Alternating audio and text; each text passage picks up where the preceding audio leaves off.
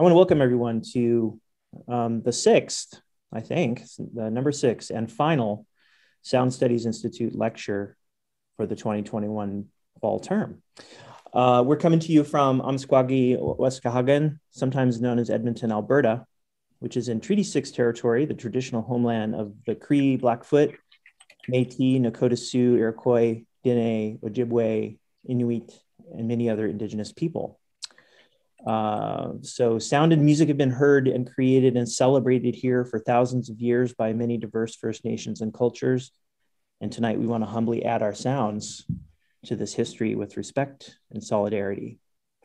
Uh, so welcome. If you're here for the first time, uh, the Sound Studies Institute is a research institute at the University of Alberta um, that celebrates and supports research into sound from all angles, including performative and artistic understandings of sound, i.e., music, but also other human and non human understandings of the role of sound in our world. And today is December 1st.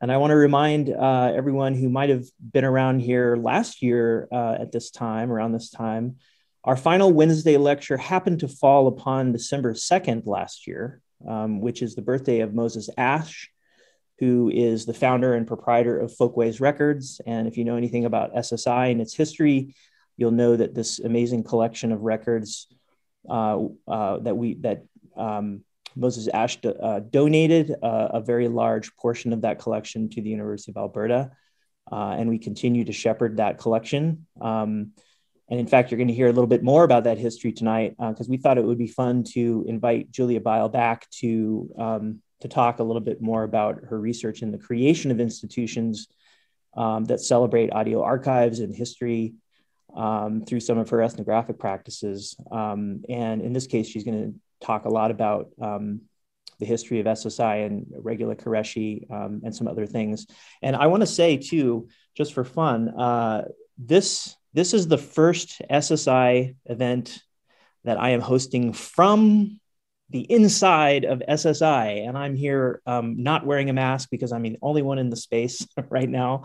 Um, and uh, and in fact, just for fun, I'll walk over here uh, and you can all see the Moses Asch collection in real time. Here it is behind me.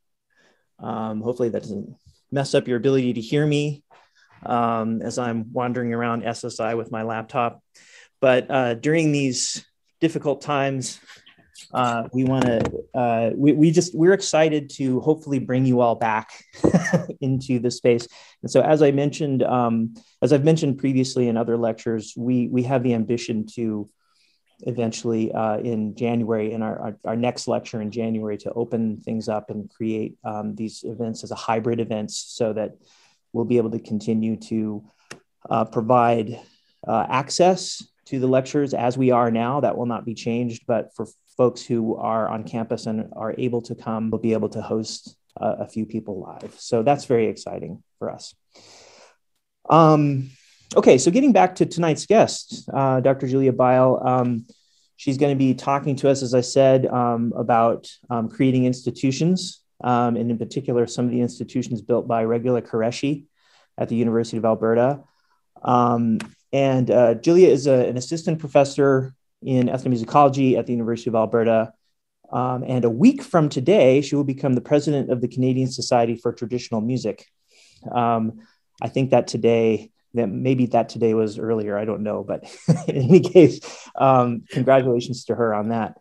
Uh, Julia moved to Canada in 2015 after three years as a postdoctoral fellow at King's College London on a Katherine Butler uh, Schofield uh, uh European Research Council uh, project called Musical Transitions to Colonialism in the Eastern Indian Ocean.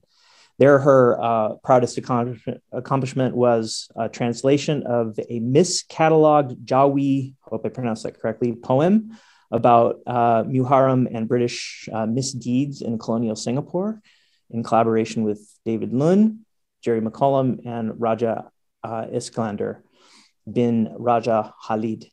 Her book, um, Histories Resonant Pasts in the Toba Batak Musical Present, was published in 2014 by Wesleyan University Press and based on her doctoral work uh, supervised by Judith Becker at the University of Michigan. Uh, with Jim Sykes, she is preparing a new edited volume uh, sounding the Indian Ocean musical circulations in the Afro Asiatic seascape. Uh, Julia's newest ethnographic and archival project, Civic Modulations, is based uh, in Dili, Dili, East Timor, and explores uh, public music, uh, the individual, and a transnational, transnational institution in one of the world's newest um, nation states. Um, but as I said, tonight, um, Dr. Byl is going to talk to us about Regula Qureshi's work um, uh, and a few other things, I think, uh, and I'll turn things over to her. So let's give her a warm welcome.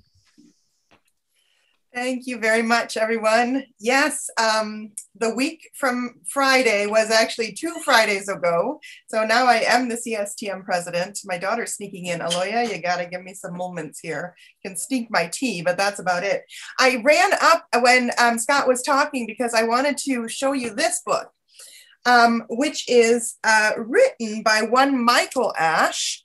Uh, and I'll explain this in a bit. Um, Michael Asch was uh, is the son of um, Moses Asch, who is the you know mind behind Folkways Records, who is in turn the son of Sholem Asch, who was a um, uh, a, a, Yiddish playwright of significant um, renown in Europe. And uh, among the, his his the things that he did. Um, besides being connected with folkways there's an entire podcast all about folkways um, done by michael asch who knows this very very well. My daughter is dealing with this the spotlight right now. Um, but it yeah listen shush but in addition, um, talking about children and, and adults and um, daughters and sons, right? In addition, he's the, the, the author of um, On Being Here to Stay, a, dis- a discussion um, of Aboriginal rights and treaty rights in Canada, um, which I wanted to um, show to you. In fact, this was brought to, to my knowledge by Carl Urion, who's in the audience right now. And this just goes to say the importance of um, Scott's acknowledgement at the beginning. I should say more specifically that the University of Alberta is on the land uh, originally occupied by um, I think Papaschase uh, people as well as Métis individuals, including Laurent Garneau, who used to play um, uh, Métis fiddle tunes within earshot of Con Hall um, when he lived there um, um, decades and decades ago. So anyway, that's the kind of music that is in our area. And I wanted to bring up um, Michael Asch's significant work towards reconciliation, as well as the fact that he was uh, Regula Qureshi's um, doctoral supervisor, as well as Carl Urion, who's in the audience, as doctoral supervisor. Um, and I'll talk a bit about that, although not about, about folkways as much. So I am going to share with you my screen. Um, and I uh, am at the time, I think, as lots of us are, that if we don't put cogent thoughts on paper, they're not cogent. Um, and so I do have I have things written out, but I also try to break out into the slides as much as possible. So I'll begin now, and I thank you for your kind attention. Uh, a tinsel-clad Christmas tree, the flag of Pakistan, and a carving that imitates West Coast indigenous material culture. A woman in a silk in silk evening wear, her expensive posture enhancing its sheen. A man in a suit and tie, drawn into his recorder, recorder. A man wearing a topi, the flat hat characteristic of Pakistani officialdom, bongos at the ready. An improvised microphone slants across the space to amplify the recorder's modest woody sound. The drummer's dark-rimmed glasses confirm the date of this photograph, 1966. The performance commemorates two Pakistani holidays sharing the same day. Outside of the picture's frame is a painting of Pakistan's founder, Muhammad Ali Jinnah, whose December 25th birthday is celebrated um, also as uh, Quaid-e-Azam Great Leader Day. Yet the immediate setting of the photograph most interests me. Although it hints at domesticity with its fireplace and pine paneling, the room is clearly an institutional space. No home needs a fireplace that big. The picture was taken in the University of Alberta Students' Union building in a space created for the Wauneita Society, a club formed in 1908 by the university's female student body to create social support within a largely male institution. This explains that AIRSAT's totem pole. Like other contemporary clubs, white student sociability was constructed from caricatures of indigenous protocol, ceremony, and language, traditions that at the time were banned for the actual inheritors of these cultures, none of whom had joined the student body at this time. Considering this sketchy record of inclusion, the presence of South Asian individuals in the Hare Bear Hall bears notice. The ensemble that Dr. Regula Qureshi plays in for this is indeed the identity of the glamorous cellist, makes noise in the university hall, asserting some agency in the face of the silencing mentioned above. Regula Qureshi's presence at the university is partially due to her husband, Dr. Salim Qureshi, the Indo-Muslim political scientist she married a decade before. When Salim took the job at the University of Alberta in 1963, he paved the way for South Asian academics at the university and with Regula for South Asian families in Edmonton. Since their courtship days in the late 1950s, the couple's experience was a study in mutual borrowings of Marxist philosophy and Islamic mysticism, of Hindustani poetry and fine French wine. The resultant erudition was both South Asian and Germanic, as became clear when Qureshi pursued her own PhD in anthropology on research that married her knowledge of Western classical music and her increasing facility with South Asian musical worlds. So this is the process that's been caught in the picture that you see. Uh, on closer inspection, Regula's glossy textiles are a sari, no less formal, but with a different provenance. And the recorder, played by her neighbor, I suspect, is a Blockflöte brought to Canada from Switzerland, a German recorder. What could this music, scored for cello, recorder, and bongos, possibly have sounded like? And do these sounds, how do they connect to the University of Alberta? The province of Alberta is home to many rich musical traditions that have been unevenly integrated into academic programs and to musicians who have not always been served or even recognized by our institutions. In 1996, this concert would not have made it into the formal musical spaces of the University of Alberta. But 50 years later, accessing this image was easy thanks to a project with robust support by the university at all levels, the South Asian Music and Culture in Canada website. Let's see if that's what I have next. Um, this actually is a picture of the um, induction ceremonies of the Wauneita Club. You can actually see the painting in the lobby um, going from uh, Hub Mall to um, the library. Um, and you can see very clearly this appropriation of, um, I mean, a, a approximation of some sort of indigenous culture. This is the South Asian Music and Culture in Canada example. It had been supported by federal and university grants. Um, and uh, in contemporary university auditoria across North America, the song from Home of a Ukrainian Immigrant, the sound of a Cree drum, or the recited poetry of an Indo-Muslim political scientist prof are all offered as proof of, of efforts to integrate ethnomusicological perspectives into curriculums, grant applications, and concert lineups. Um, and so there's this idea that we've now achieved this place where you have a place for the bongos and recorder and um, poetry and indigenous drums played by indigenous people in places like Con Hall, and certainly you do. Yet what of concerts like that of December 1966, staged outside of a grand public space and creating discrete musical and social synergies that would not have been recoverable but for a chance snapshot? We must also consider ways of crediting the people who do not appear on the institutional website, both past and in the and present. Salim Qureshi, for example, um,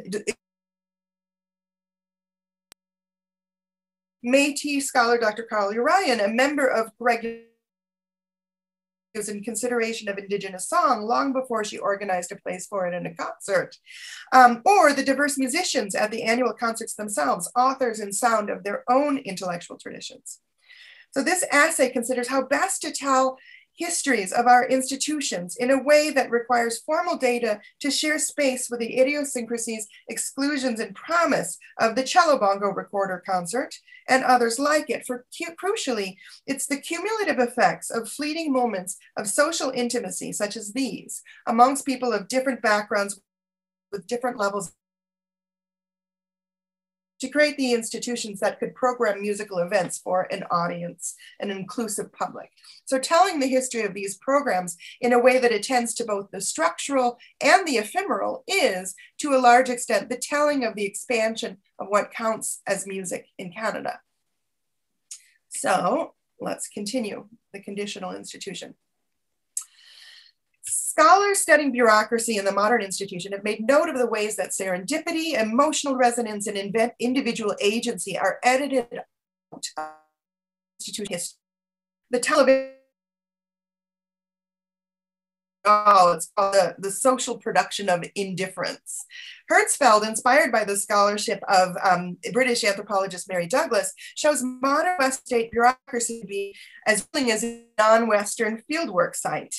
Um, and he, he talks about um, using those who are influenced by them. This is um, a case study from um, British mental health offices um, being studied by uh, two scholars, Armstrong and Ogulnik.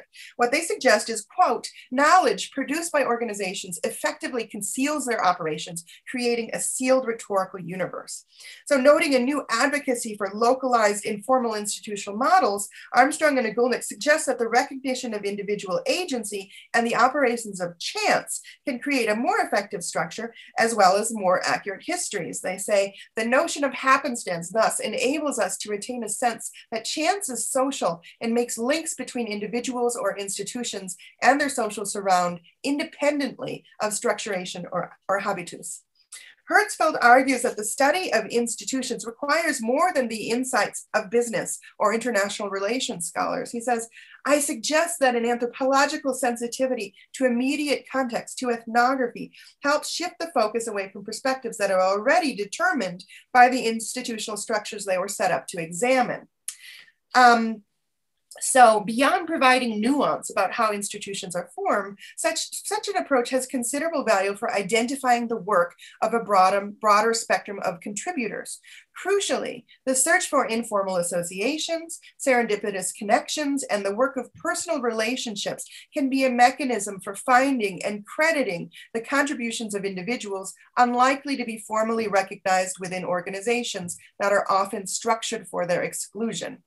Moreover, recognizing the work of these individuals allows us to account for how um, broad inclusion can actually create institutional change. So I want to illustrate this point by moving outside of the University of Alberta to um, Indiana University to talk about the testimony offered by the career of ethnomusicologist Dr. Portia Maultsby.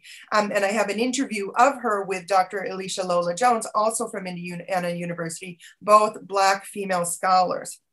So what is happening is at the end of this interview, um, let me actually play this for you. Let me just um, dip out just a minute, stop my share and play this example for you of um, Dr. Alisha Lola Jones talking, um, uh, talking to uh, Dr. Portia Maultsby. Okay, let me just talk to my child. Theo, can you please close the door, please, so I can concentrate? Let me hear it locking behind you. This is a sound studies event. I want to hear it locking and not opening. Okay, thank you very much. So here we have just a little bit of, um, of this uh, musical example. Uh, I think you can hear it. So let's hear let's hear um, Dr. Portia Maultsby interviewed by Dr. Alisha Lola Jones. 10 years out from Southern depositing her dissertation you are interacting with her. And through that interaction, um, it illustrates how, as we study Black music research and its historiography, we really need to attend to Black women's lives, mm-hmm. um, not just their lives through publication, but also their lives in the doing of the research and in the pedagogy. Mm-hmm. Um, because a lot of Black women have been the teachers of those who went on to publish article right. and book length works. Mm-hmm. And your career in particular, as a practitioner, composer, musician, um, administrator, uh, to to reduce it simply to publication is not to understand mm-hmm. the doing of the research. All right, could you all hear that? Give me a, a thumbs up in the chat if you did. Yeah. Okay, great, excellent. So let me continue with my um, with my PowerPoint, and um, uh, here we go. So um, uh, so this is this ethical commitment that recognizing black women's lives practices spoken or sung words and non-published work is an essential corrective to past instances where the intellectual work of these scholars was first captured in print by others due to structural exclusion. So i want to say that maultsby and jones are eminently accredited institutionally affirmed scholars maultsby is the laura boulton professor emerita alisha lola jones just got tenure at indiana university and now is moving to cambridge in the UK. They're expert within alternative formula, stru- formula structures as well. Their performance of funk and gospel, as well as masters of music theory and Italian diction. Ex, uh, experts affirmed by the responses of Black audiences and acclaimed within our broader discipline, earned as a function of that love, lived experience. And Alisha Jones just um, won pretty much every possible prize at SEM and AMS recently. So when Jones introduces Maultsby in this um, interview as an apostle, she invokes this mode of authority that comes from the Black church, and we believe her. So that title is as significant as dean or director, and the institution must expand to accommodate such a lineage of cultural authority. So the picture of Maultsby's research that emerges from this podcast is of a career developed in relation with others, with mentors. Now I'm going to kind of um, move forward a little bit outside of my paper. This is the Archives of African American Music and Culture, which was um, built by Maultsby. And I'll explain uh, in a bit why Black music was um, understood as important at Indiana University. Now you don't really see her here as much. You don't see her name and her, her labor here, uh, although you certainly will if you dig in into the institutional pages. Um, but it, it has an African American scholar, leader, uh, and director. And so this is an institution in and of itself. Um, but when it first started, um, I want to bring up a couple of things. Number one, Portia Maultsby, and here she is um, as part of a, um, a, band called Soul Syndicate. She was one of the first Black scholars who had a focus on African American secular music. So we're talking about funk and R&B, as opposed to gospel or as opposed to Black classical or spiritual um, um, contributions. And this is really important because this there was quite a bit of pushback to this. And so here she is. I want to point out that in addition to being a scholar, um, working at places like, um, you know, I, I can't even begin, like every important African American um, uh, institution she has been involved with. Um, but she also is a uh, amazing performer and performed secular music with the Indiana University Soul Revue, which is still playing now. So we think of music ensembles like Gamelan uh, at UCLA, but um, Maultsby started an African American soul ensemble that allowed Black but also non Black youth to to develop their musicianship in different ways. So she has to be recognized as a performer in the tradition as well as a scholar. Um, and then I also wanted uh, we'll, we'll, we'll dip into that in, in just a bit. Oh, I wanted to talk about how Black music became understood as important at Indiana University. This was the story of happenstance, if you listen to Jones and um, in conversation. What happened was when Dr. Martin Luther King was assassinated, the dean of the School of Music at Indiana University wanted to program a concert with African American music classical music because that is what the, the School of Music did at that time. They looked at the library shelves, they found they had no scores that could be used for their choirs or bands, even though clearly by the 1960s there was obviously plenty of music written. And so there was this soul searching as a result that the institution was not inclusive, that resulted in Indiana University becoming this major research center for Black um, vernacular as well as sacred music. So I should talk about Dr. Mellonee Burnim, who um, had the Charles Seeger Lecture at the at, uh, Society for Ethnomusicology this year, who is a scholar at uh, IU in gospel. All right, so let's continue here. Uh, this is where we are going. Now, this is Salim Qureshi, and we'll leave him here until we actually get to him. So my point here is that despite their serendipity in um, Maultsby's description, but um, despite uh, the, the institution conferred recognition but was not responsible for her research, which she had long ago initiated as a performer and an analysis, an analyst and a scholar. So I was curious about uh, career because I was thinking about this idea of serendipity and relationships being one way of understanding institutions. And yet at the same time, I did not want to go ahead and posit that Black building or Indigenous building or um, um, non-white building of institutions was not powerful in and of itself. So I was very, really careful to not want to make my point too broad without doing the work.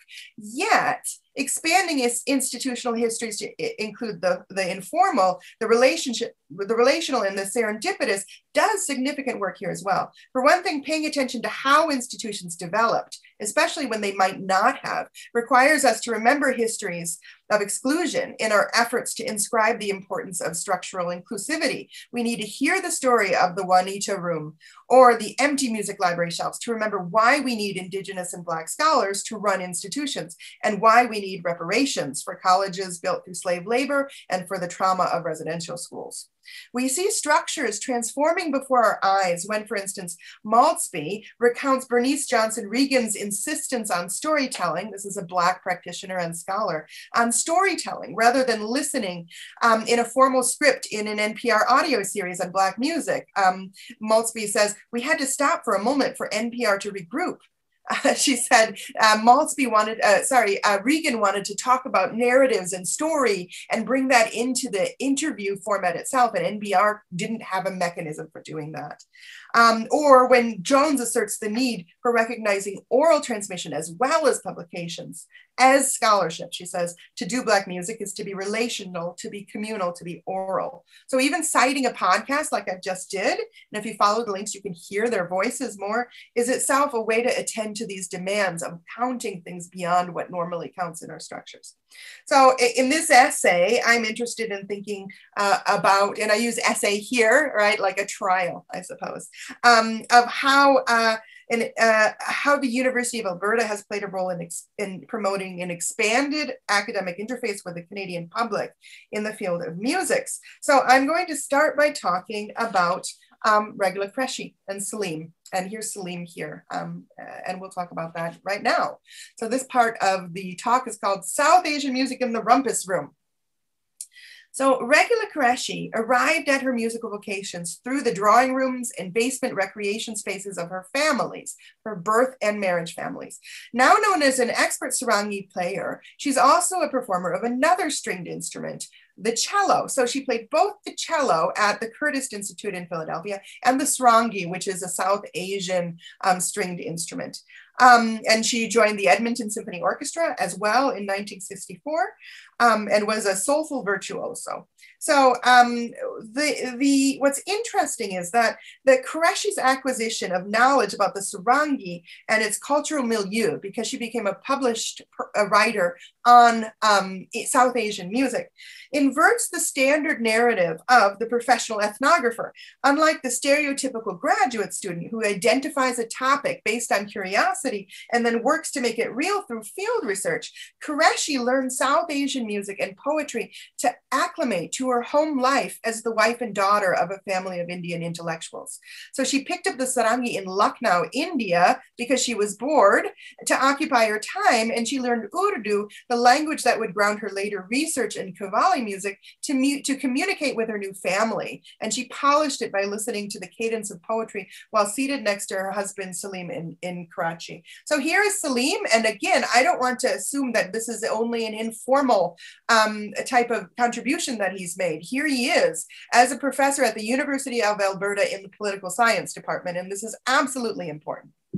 But I also, oops, uh, let's see here want to show um, some other ways in which we can understand him. So this is Regula Qureshi's uh, Kunst Prize winning uh, article for the best article pub published in ethnomusicology. I believe it was in 1969 that she got the prize. Um, she had not yet start, uh, she was not yet a graduate student at this point, which is really important to recognize. And if you look at the actual writing, you do not see Salim Qureshi in these in this writing. Um, because at this time um, humans writers authors and especially women um, were loath to bring the underseams of their research into um, into publication. This didn't happen until the 80s in anthropology the 90s in ethnomusicology but if you look at the at the uh, examples out of I think 37 of them, only 14 were taken outside of Edmonton. So here you have Edmonton, Alberta, Canada, um, uh, Ansar Hussain, an amateur poet of Karachi, formerly of Lucknow, um, but it's recorded in Edmonton. This one at the bottom, same. And there are, I think there are 35 examples, and some of them are example 2A and 2B. Um, this is Regula Qureshi. She does amazing work. Um, and yet, what you uh, what most people assumed is that this was work that she did out of the field, using her scholarship training from a, a, graduate student. But in fact, this was before she was a graduate student, and this was knowledge that she gained domestically. All right. So um, before we go any, oh, this, well, this is an example. Sorry, I'm having a hard time. Oh, I think I just have a clip. Uh, so this is 1967, an example of one of the recordings that um, she, um, uh, recorded and perhaps used for an example. And there she is sitting next to Salim Qureshi um, as they uh, engaged with a domestic uh, practice that was part of a South Asian community in, in Edmonton. So I'm going to stop my share for a moment because I thought I would play you just a couple of art uh, of clips from a film that I've recently uh, that I'm still editing on Regula Qureshi and on Salim. So you can have a bit of a break from listening to me, I suppose. Um, so let's uh, find this and share it. I, will just give you two brief clips uh, for this. Here's the first. Actually, I'm going to fast forward a bit. Because I love music, I had to understand that music to make a sense out of anything else in the country. And that really got me started on the idea that. Sorry, let me go a little bit further. Okay, I think you.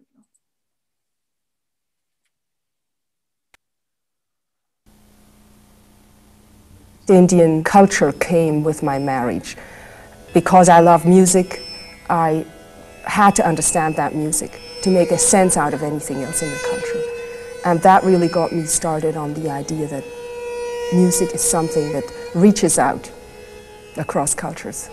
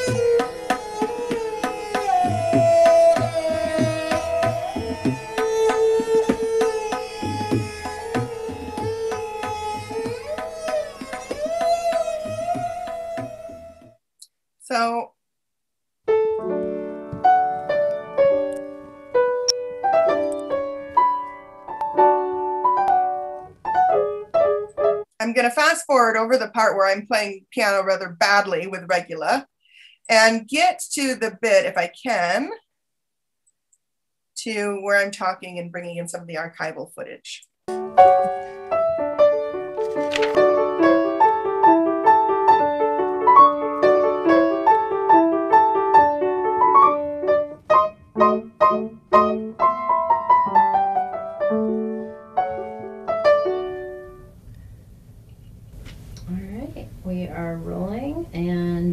Start whenever you like. Okay, thanks. When I came to the University of Alberta three years ago, I knew Regula Qureshi. I had read her work in a graduate seminar run by Judith Becker. I cited her work in the first book review I ever wrote on Southeast Asia, which tells you her breadth. She could have been at any leading ethnomusicology program in the world. But when I came to the U of A, I realized that it wasn't an accident that she was here, and it wasn't an accident that this place produced her amazing scholarship. Her work is fundamentally connected with the community and the members of that community that she found in Edmonton, in Canada. The type of engaged public work that, that this city, that this university supports. Regula Qureshi was a public ethnomusicologist before it became fashionable. And luckily, we have her archive to prove it. Her house parties from 1968 that maybe weren't originally meant as field work. They were just a record of a wonderful evening, but they become as important as her field work in Karachi or in Lucknow. They show the same tenor of lived experience and how that creates the insights that come through so strongly in her work. This is as important as anything that she's written, and it has formed what she's written. The field can be the living room as well as the shrine. All right, so that's the first. Um, and then um, let's see if this will let me get to the second without, uh, nope, I think it just stopped it. So let's um, share another example that I wanted to show you. Uh, this is from later in the film where she's talking about um, her, how she learned poetry in um, Urdu um, uh, poetic gatherings in her basement. And so it, it starts with just a kind of um, uh, example of this, and then she talks about how she learned this. So I'll play a bit of this for you. This is footage from an Edmonton versus Calgary poetry slam, basically. But it has an interesting aspect in that the ending um, uh, letter of each couplet becomes the starting letter that the next group has to determine. So anyway, here's this. I'll play a bit of this. के वक्त मर्ग ये ज़ाहिर हुआ, ख्वाब था जो कुछ के देखा, जो सुना अफसाना था। आज बाज़ार में पा बजौला चलो। आज बाज़ार में पा बजौला चलो। दस्त अफशां चलो, मस्तो रक्सा चलो। दस्त अफशां चलो, मस्तो रक्सा चलो।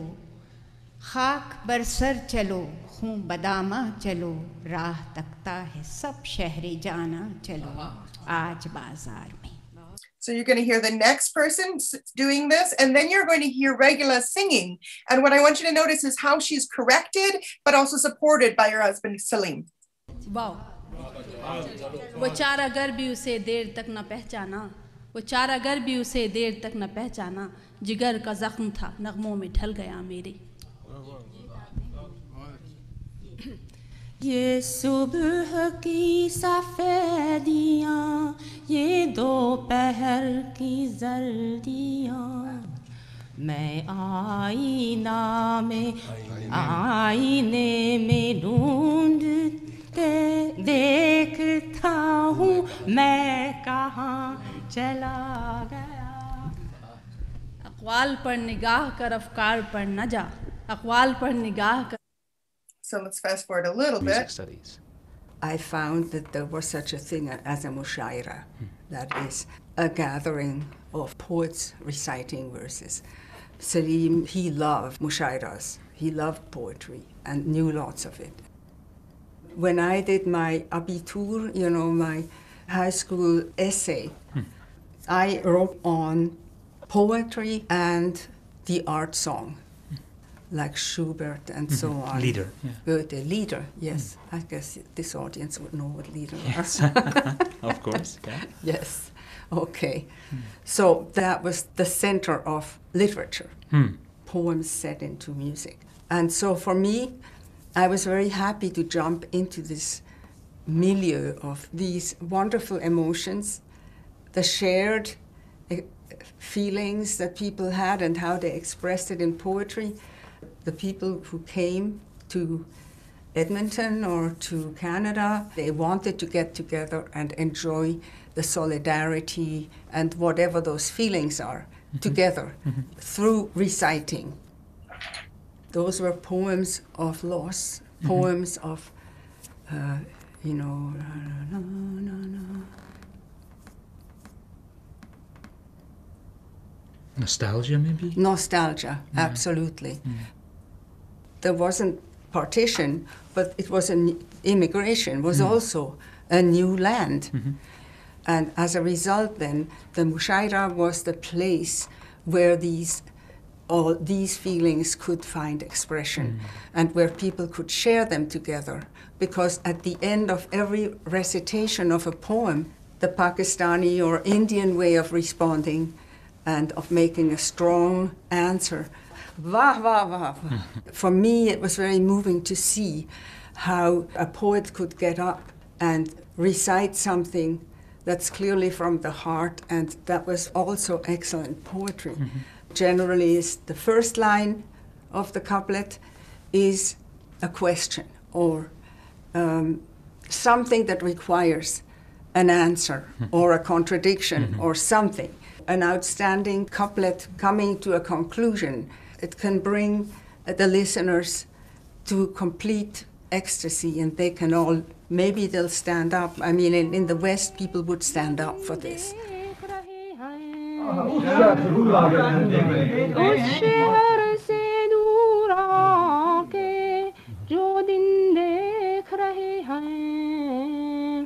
दुश्मन को भी ऐसे तो दिखाए ना खुदा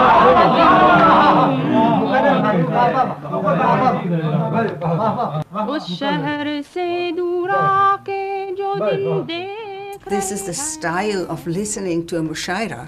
It was real emotion of people getting together mm. to do something that was worthwhile. And these all right. So um, that was Regula, bringing people to their metaphorical feet, right? So crucially, Qureshi's significant strides towards understanding Indian music were taken at Edmonton as she learned Indian music theory and tabla technique from members of the South Asian community. In effect, many of the rudiments of Qureshi's work on South Asian musical context were gained through the methodology of family and community-based applied ethnomusicology, although it would not be named as such for a while longer. So the two archival images um, that I showed you, uh, the one of them sitting at the Mushaira and then the one in um, uh, the, um, the, the building. Um, they're part of SAMP, that South Asian Music and Culture in Canada project, a website that, that Qureshi and Michael Frishkopf brought to life in 2009. It houses the extensive archive compiled by the Qureshis dating back to reel-to-reel recordings from the 1960s, and it also chronicles the developments of three Edmonton institutions with whom Regula cultivated relationships. The Edmonton Ragamala Music Society, the Bazamesukan Literacy and Cultural Society, and the Indo-Canadians Women's Association. These were all associations and institutions built within South Asian networks. But although SAMP is formal, the acronym SAMP is a dead giveaway. That's the website. Its assets document the tenor of musical life. Through the website, I found pictures of friends and neighbors listening to poetry together and spotting a tape recorder on the floor. I went to look for the tape. Um, and it record, has music and poetry, but the sounds of children and gossip. And uh, through engagements with these sources, I came to realize that the living room or the community lounge may be a site for field work as meaningful to Qureshi's work as a shrine. So this is the idea of domestic ethnomusicology. And yet a canvas of Qureshi's published work shows very, very little information about this. Um, uh, so you can find Salim if you look hard, but it hasn't opened it up yet for that. Her, uh, however, um, uh, Qureshi's model of domestic scholarship opened up possibilities for others. Um, for instance, uh, Michael Frishkopf's research on Arabic music, which was conditioned by the poetry of his wife. Uh, my own scholarship on island Southeast Asia is constantly under peer review by my husband, Sumatran musician Macario Sitangan. It's no accident that the intellectual expansion of our domestic lives spurs us to create institutions that recognize the value of this knowledge, it's responsive to community governed by the personal.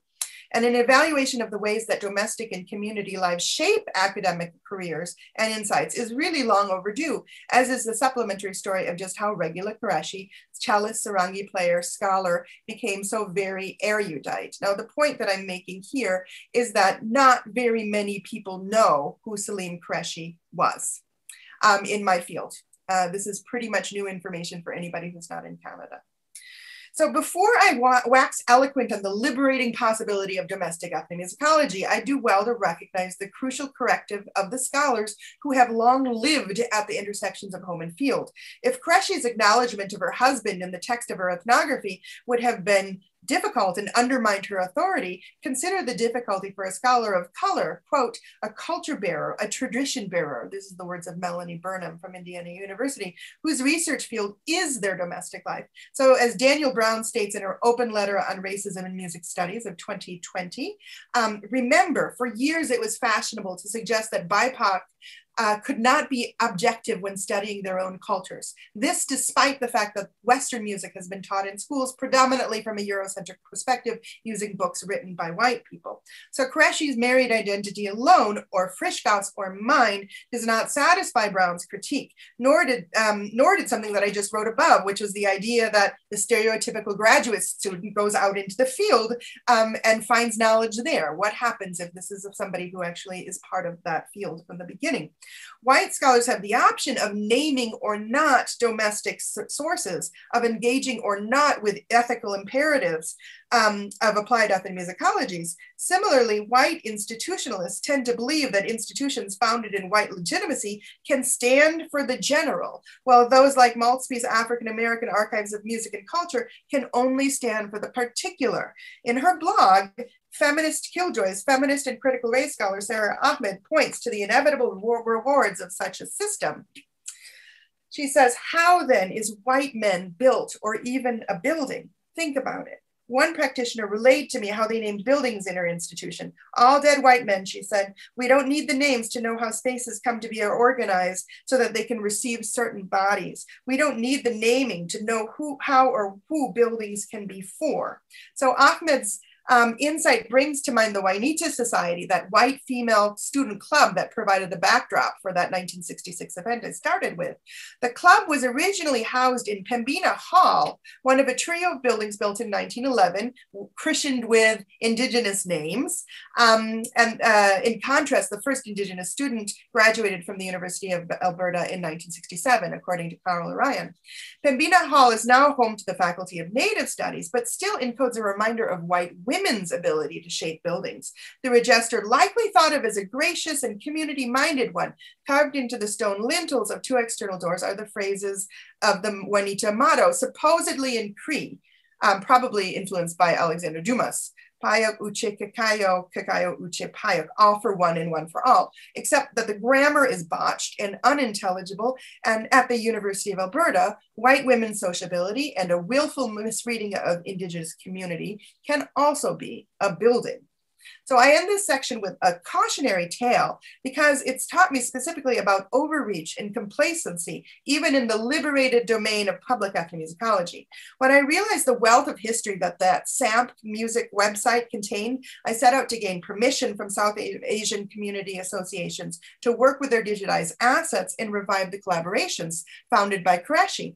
Easy, I thought all these organizations were already listed as partners. My intentions were plain. I wanted to promote their work, but I found out rather quickly that there are no shortcuts to community based research and that credentials and trust earned over decades of shared experiences cannot transfer. So attending a board meeting or addressing an AGM is different than the work of creating collaborative relationships over phone calls and visits to the other side of town, despite stalled cars, misread sig- signals, and hints untaken. So I've been so far unable to revive a relationship with, with one of Qureshi's key partners.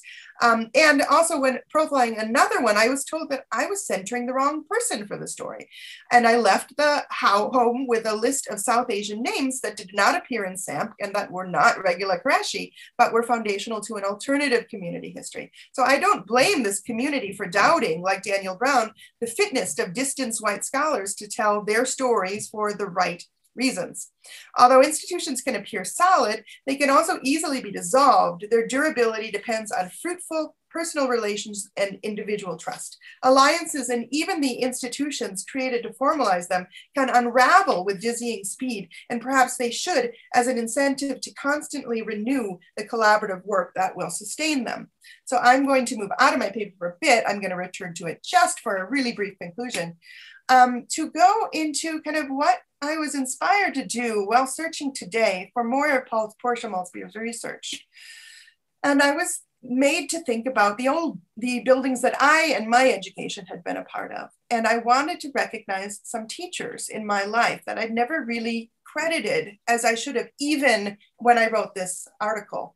So um, I was inspired here because Maultsby went to the Netherlands in 1998 as a visiting professor at Utrecht, and she found there a woman um, named Edith Kastelein who um, uh, uh, promoted four different gospel choirs that she saw as being part of in the tradition. Um, and she had this as her next research project. So clearly, in uh, Aloya, close the door, please. Clearly influenced by Black music, but there is an expansiveness based in relation that does not stop at identity because she brought um, these, these choirs into her research focus. So my first choral conductor was a Black professor um, at Calvin College named Dr. Anton Armstrong. This is when I was in fifth grade. Um, he's now the Harry R. and Thora H. Tosdal Professor of Music at St. Olaf College. Um, and uh, Portia Maultsby's doctoral advisor was Lois Anderson, professor emerita at the University of Wisconsin. There's Mellonee Burnim right next to her, and you can see that she is being affirmed in the tradition because of the ways in which she mentored and found places for Portia Maultsby to shine. And as a result, Maultsby credits Anderson at every single stage. You can hear about Lois Anderson through her um, through her ideas. But it's not just about her being a professor at the University of Wisconsin, it's about her being a music teacher. We think that somehow it's more prestigious to be a professor than a music teacher. But what can be better than a teacher of music and a mentor? So, Dr. Anton Armstrong, my music teacher, my mentor, who shaped me as a singer when I was um, starting at, at 10 years old. Um, the building that now I think of when I think of him, not as an all white space of the St. Cecilia Society in 1906, but as the place where I was mentored by Dr. Anton Armstrong. Similarly, my elementary school teacher, a music teacher, Alice Finley, who first introduced me to um, musical identification of Brandenburg concertos, of um, water music, of Debussy's Sunken Cathedral, uh, Cathedral was uh, uh, is a black gospel inflected music teacher. And here she is um, on stage at the DeVos Theater in 2010 playing a role in Porgy and Bess. So clearly, we're not talking about differences and cleavages and um, separations of repertoire or ethnicity or race if we can come up with mentoring practices that moves between these. And as a result, when I think of my building, Oakdale Christian School, which was a was a very very diverse place in the 1970s and 80s when I went there, I think of this mentor who allowed me to be part of this. All right. So how does space come to be organized so that they can receive certain bodies? We can see here that if we have mentorship as an example, that this um, can overcome even things inscribed in the stone lintels. Now, what's key here is you can see that when Maultsby is talking about the research that she did, why did she see Kastelein as doing important work? She did not simply use African American repertoire to teach her choir. You can see Maultsby writing here. For example, she begins rehearsals with a prayer followed by a medley of praise songs, and then a rigorous 2.5 hour rehearsal taught through traditional oral methods instead of using notated music, which concludes with a prayer. And the last rehearsal of the season is pre preceded by a potluck dinner, an unknown concept in the mainstream Dutch society. Now, I know this because this place, Oakdale Christian School, is a Dutch Reformed school that was originally built to house Dutch uh, Reformed um, uh, churches. I'm a part of a Dutch immigrant community, and we should just say that the my ancestors colonized the ancestors of my husband, who is from Sumatra, which was formerly the Dutch East Indies, right? Um, and yet, through work like this, you can move to a place where you can come uh, and have shared intimacy and community and knowledge in the tradition um, beyond these strictures. So, to conclude, Serendipity, a guiding theme in this discussion, sometimes arrives in a way external to human perception, only evident after it's done its work. I like to think it might arrive on the sound wave, considering the following set of coincidences. The vice president of research of the University of Alberta, who who spurred the creation of Folkways Alive in 2003, which later became the Sound Studies Institute, where we are all gathered today, um, was inspired after hearing Regula Qureshi's concert um, a, a, concert uh, that she put on of music from folkways and then realized through live performance. And he was inspired when he heard this. But that inspiration may have been conditioned by hearing folkways rec- records broadcast over the radio when he was an, a, a, a youngster on the Canadian plains. Years later, the institution that he made possible, the SSI, is supporting the project of Métis scholar Carl Urion, studying how local Indigenous people engage with the tradition of Black gospel music, a tradition that is in Alberta. And he draws on the work of Melvin Butler, who is the advisor of Alisha Lola Jones, who did the interview with Portia Maultsby.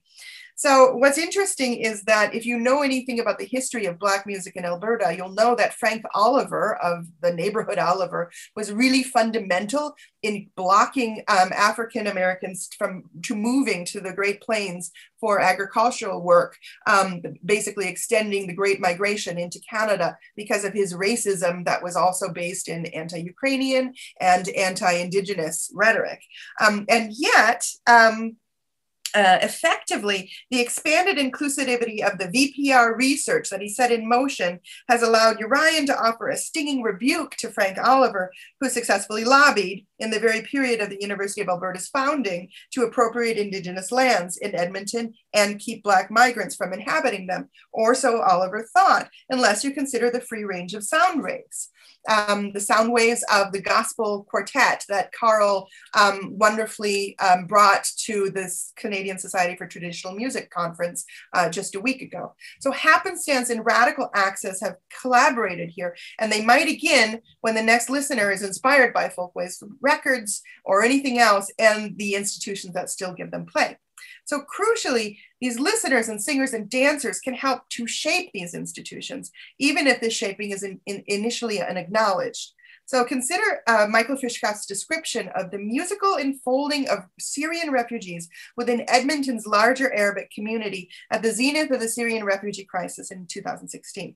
So the following excerpt is published in a dialogue based on the president's roundtable of the Society of Ethnomusicology um, and about interview uh, uh, uh, uh accounts of refugees, which um, uh, Frishkopf says, quote, the interactions of social macrostructures within a dehumanized and dehumanizing system overriding the humanity of individuals. But Frishkopf argues that human nature of music can counter such dehumanization through social resonance. So he recalls a performance of a university music group that he leads, MENAME, um, at a hotel that housed recent Syrian refugees. And this is what he says Refugees took the mic. They sang and we played. Someone recited poetry. We clapped and danced. One of the refugees, Yahya, pulled out a mijwiz, em, uh, emitting a, um, a um, reedy, unbroken serpentine line that electrified the crowd and included and induced a sinuous dabka line dance, physically connecting us together. Subsequently, several refugees joined MENAME. So although the description begins with the rapid unfolding of performance in the moment and develops with the serendipitous appearance of an instrument, likely a prized possession to be brought all the way to Edmonton, this excerpt ends with an institution, the ensemble. MENAME is also known as Music 148, 448, or 548, depending on your skill level. Its requirements are laid out in a syllabus. It confers credit to degree seekers at the University of Alberta. But reading Frishkopf's description, we become aware that it is also a community ensemble, a domestic ensemble, and an ensemble based on sound whether the sound communities, whether the communities of Egypt, where Michael, the teacher, gained his musical knowledge, the community of Albertan refugee or uh, students that benefit from it, or the Edmonton community of refugees, now perhaps citizens, that reanimates this musical knowledge through embodied sociability. So the quotient, the quotation that I'm ending with should be enshrined in the MENAME syllabus, should be enshrined at Kahn Hall when MENAME plays. Um, uh, this concert program where new audiences are introduced to new soundscapes.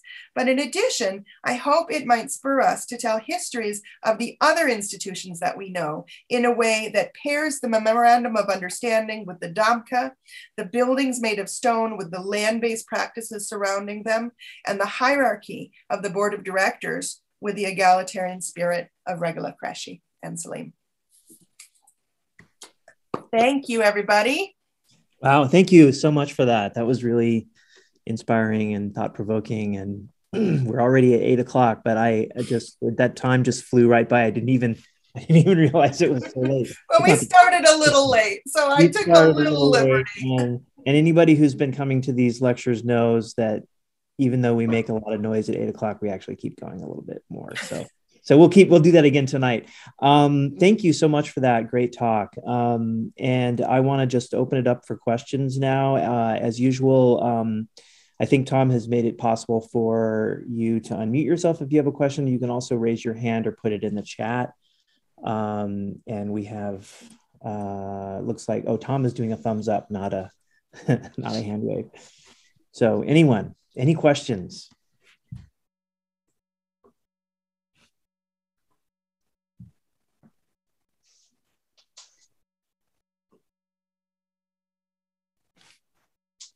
Uh, we have a question from Kim. Please, please go ahead.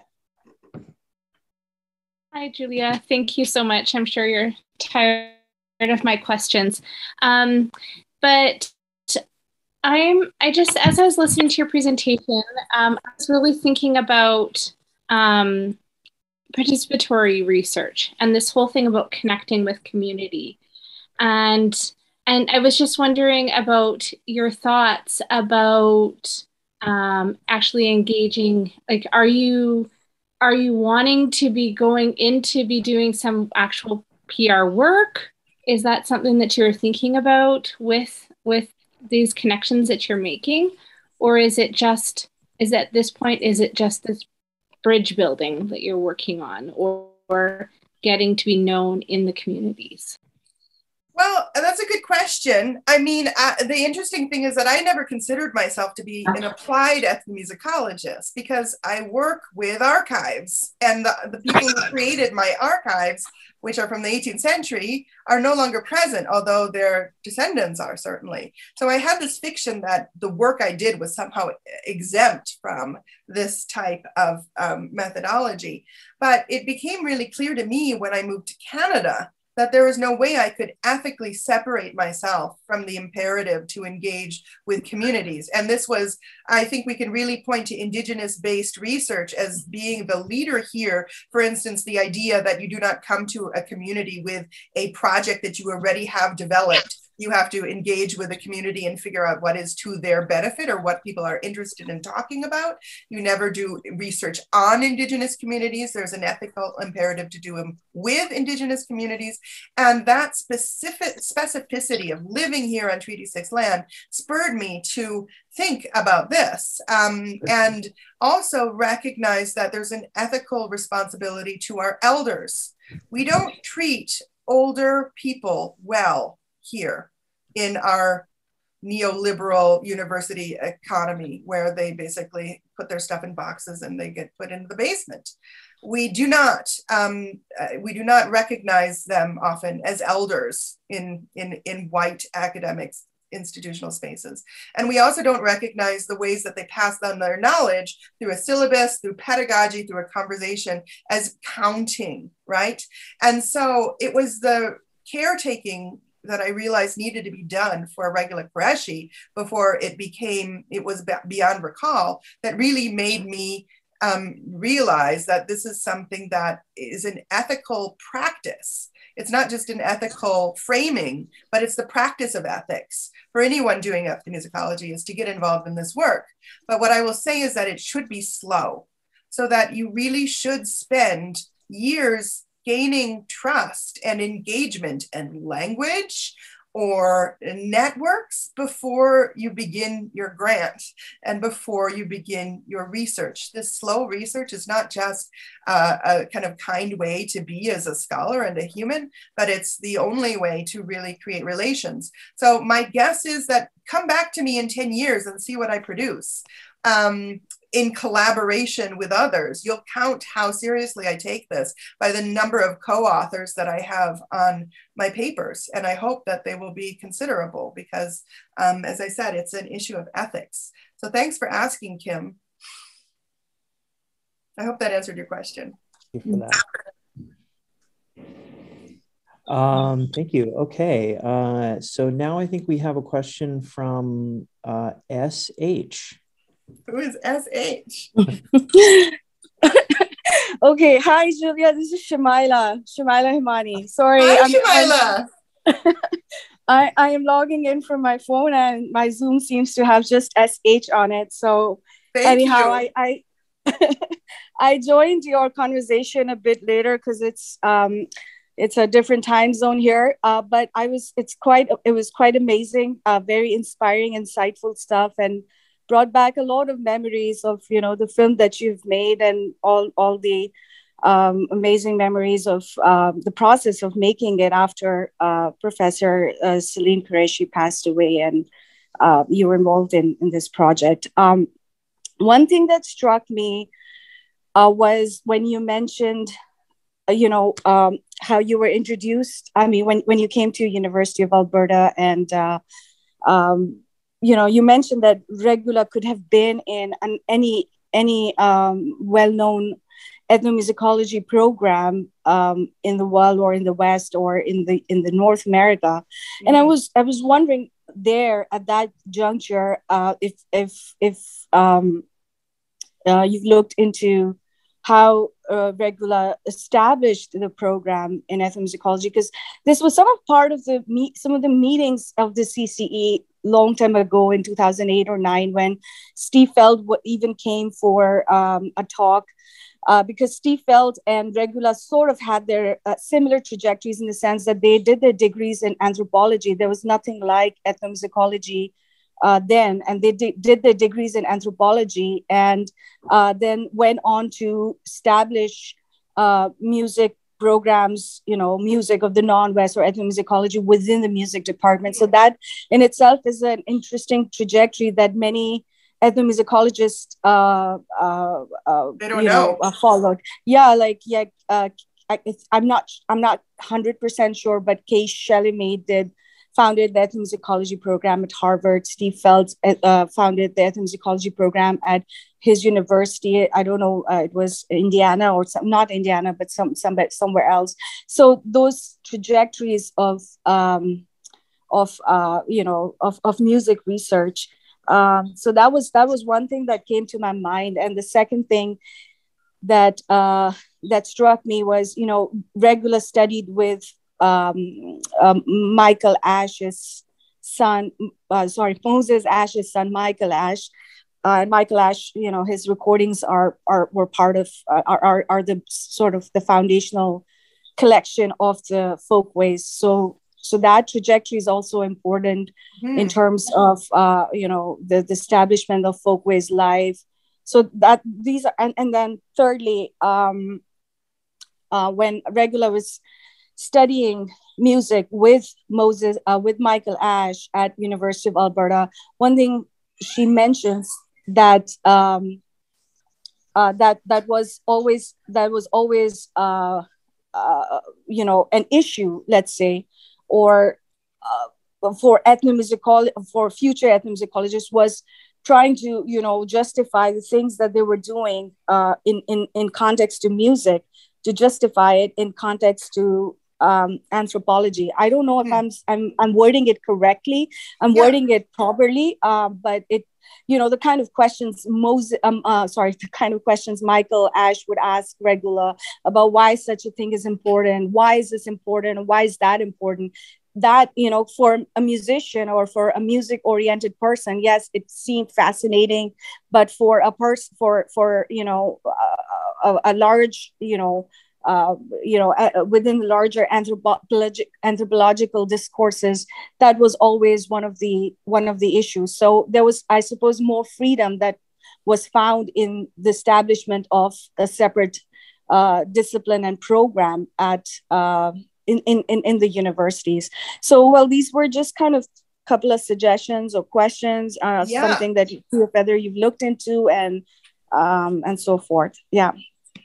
Thank you, Shumaila. You're absolutely right that um, recognizing Regula as an anthropologist is not something that many people do um, because she is such a fabulous musician and had training in Western classical music.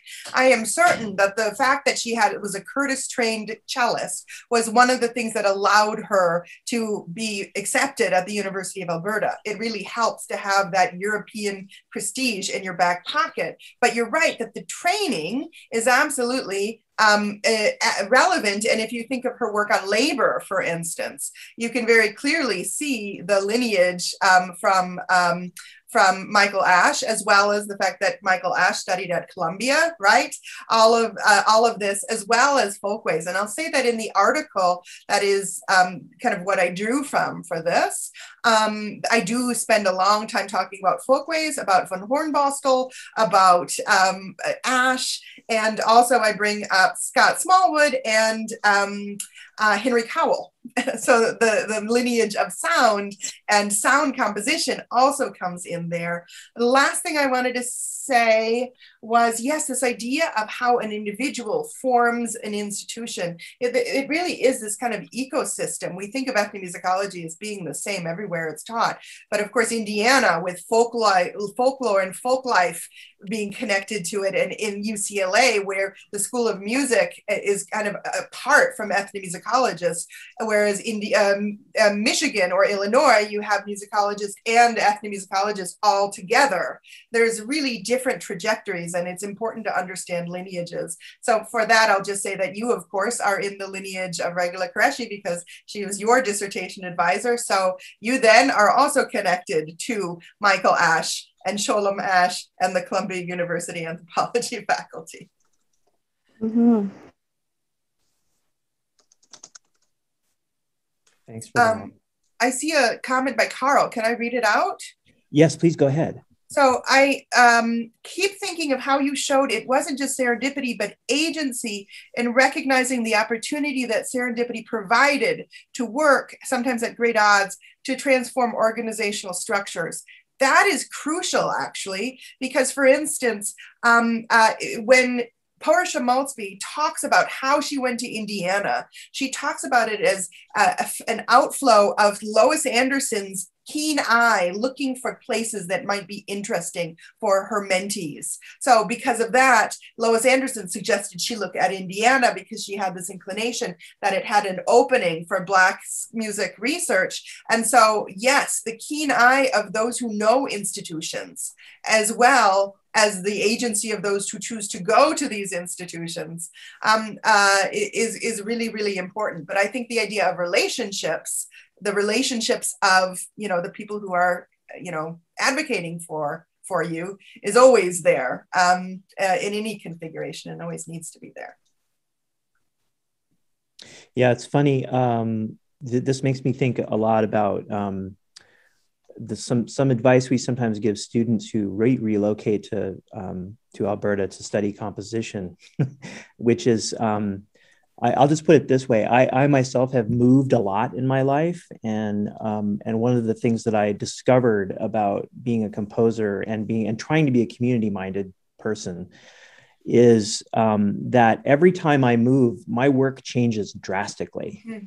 And, and I've learned to warn students to let that happen because and whether whether it's it's scholarly work or or any other kind of work, I ju- it just seems like, um, especially in the last 20 years, there's something in the air in these institutions around really trying to um, to take advantage of the communities in which we exist. Um, I know there's, I think there's been a long history in, in, in academia to bring people from all over the world with lots of specialties and try to like make a real potpourri mix of things. And I think that's still really powerful but I I really I really value these kinds of um, alternative ways of thinking about being in an institution in a city like Edmonton or anywhere. Um, and so I really it just it's just very inspirational to hear you talking um, about it coming from your perspective too. So, um, anybody have any other questions before we wrap things up tonight? Can I just say one last thing? Yes, that, that hearing you talk about us as uh, people who adapt, I mean, it just makes us think of, you know, the the distances that are being decreased between humans and the animals and our environment, right? That is something, uh, if you look at Haraway or the, I mean, everybody is talking about this um, uh, as this adaptive environment, which of course connects quite clearly with indigenous practices of recognizing us as part of everything. And that's a great way to think of it. Why should we not adapt? Like you know a flower or a tree um, to a change in our climate um, to find the best way possible for us and for the larger network of living beings that are that are within reach. Yeah absolutely. I think that's that's spot on. Um, yeah um, well so I, I think just before we thank julia for her great presentation i'll just mention that um, we are coming back in january with a whole slew of, uh, of new talks. We're still putting together the schedule.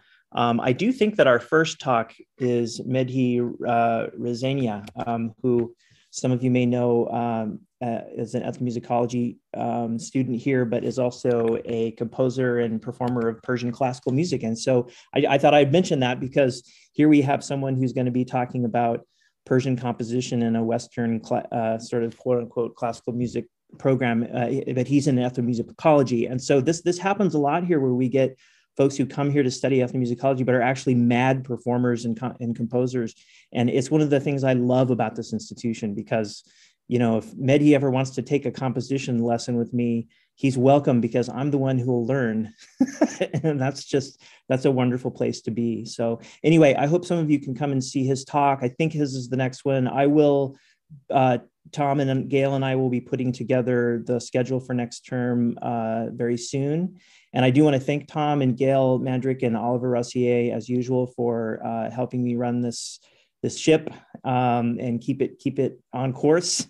And thanks to Julia for a wonderful wrap up to the semester um, with a very inspirational talk. And I do want to encourage you all. Um, it, she mentioned that there's the, this film that she's been working on I don't know if there's any um, news about its quote unquote release, but I know we did have a screening of part of it um, a couple years ago, and I'm looking forward to uh, whatever the final version is, and we will keep you all posted um, when that comes out uh, and make sure everyone can check that out because it's the film is beautiful, at least the parts that I've seen. So. Um, all right. Uh, so if you'd like to unmute yourself and clap or yell or make some other kind of noise, do it now. Take care, everyone. Bye, everybody.